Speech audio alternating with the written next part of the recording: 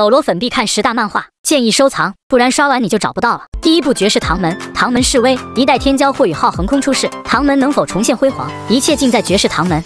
第二部终极斗罗，诞生的孩子，身怀最强血脉，斗罗终结者蓝轩宇，缔造斗罗史上最强。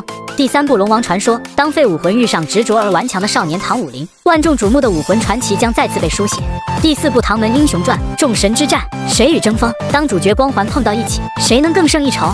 第五部冰火魔厨，情绪之神熔炼冰的成长故事，十年炼厨，十年悟厨。第六部善良的阿呆，死神阿呆成就绝世武技，拯救世界。第七部天珠变，大力神周维清的逆袭之路。第八部酒神，邪恶之神激动曾经还是一个巅峰品酒大师，为何却成为了一代神王？